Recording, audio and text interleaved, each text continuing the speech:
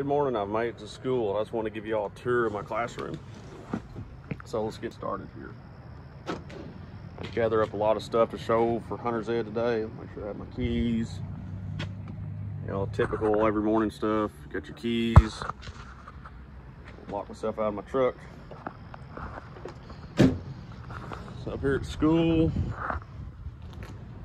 so I think it's 6.30 a.m. Trying to get started, make sure I have a test made.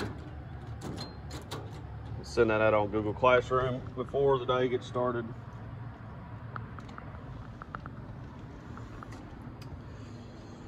So I'm walking in the shop.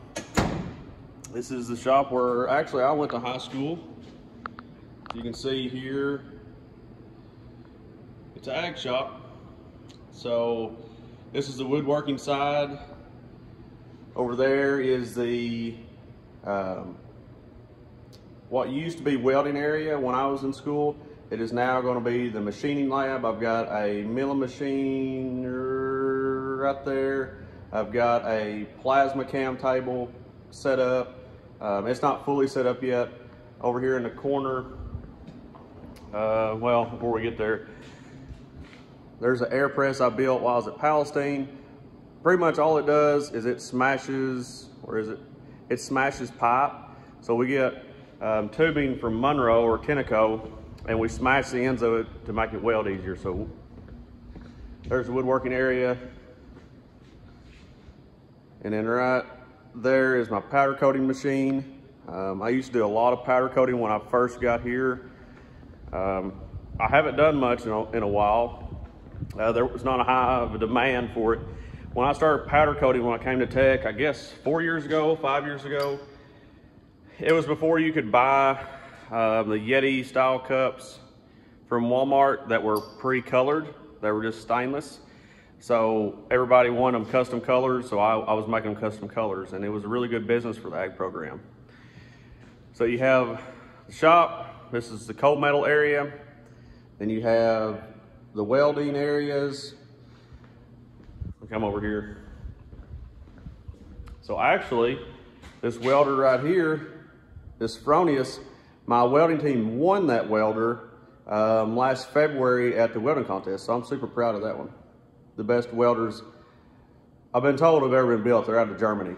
Okay, so we got that for free. And they got all their welding gear for free. Um, wire welding stations, stick welding stations. Here's our TIG machine with plasma cutter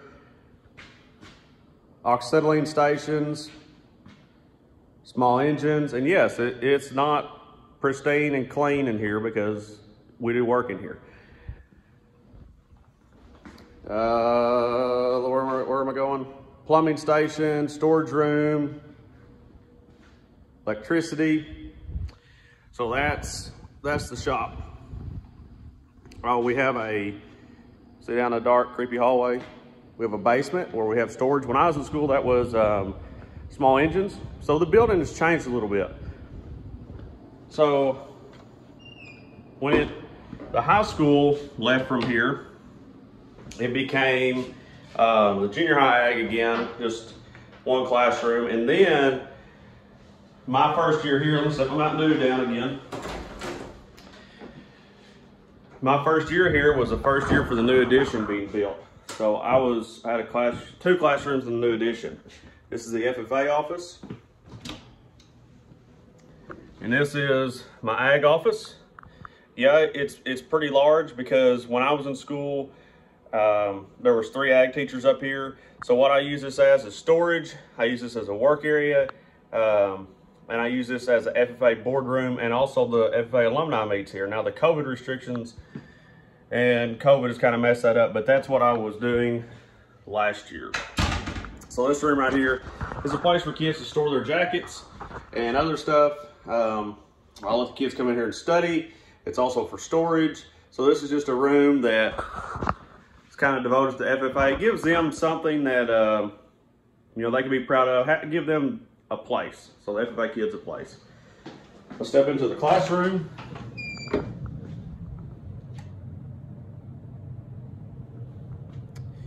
So this is the classroom.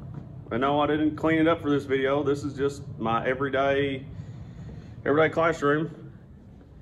And actually, it's two. This room right here was Mr. Rogers' classroom when I was in school, but we took the wall out, or well, maintenance took the wall out. That's the way it was originally designed in the 1950s, was to have a, a curtain petition wall right here.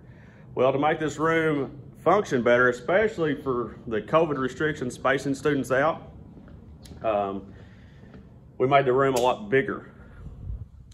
And these are lab tables I put together.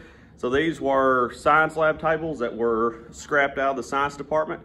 Um, and I took the bleachers that were scrapped out of the old junior high, finger, finger, that, that wood right there is old bleacher boards. That was the decking of the bleachers. Took that and some scrap lumber and built the cabinets and then set these lab tables on here. So as we use this area as a lab, students do sit here um, throughout the day so we can space them out six feet so they don't have to wear a mask. There's all the FFA plaques for the junior high. We have a lot more at the high school.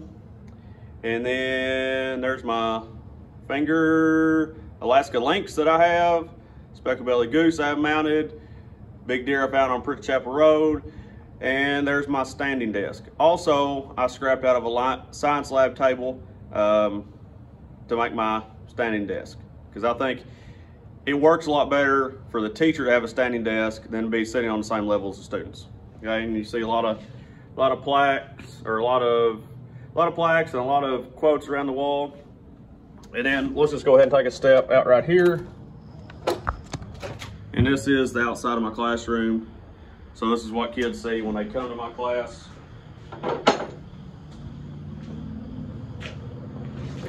Right there is the new addition in the library.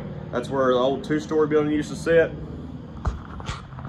Right there is um, the main building. Portable for cafeteria workers and parking lot. So that's a little tour of my classroom. Hey, it took me five years to get my name on the door. and An actual plaque. Okay, so that's my classroom. I thought you might want to see it. Um, especially for students that I may have in the future or my virtual students that have never seen my classroom. So there's my classroom. So have a good day. Keep making every toe push.